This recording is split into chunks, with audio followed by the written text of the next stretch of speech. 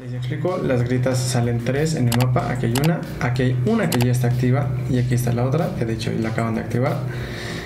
Y el chiste es que entremos y dentro de estas va a salir la guardiana de aquí. El chiste es que nosotros tenemos que derrotar a ese guardián. Allí está, derrotada. Ahora sí, victoria. Ya que tenemos al NPC, ya tenemos la posibilidad de tener nuestro estilo. Bastante difícil conseguirlo, ¿eh? Bastante difícil, pero ahí está. El estilo asesina del cubo.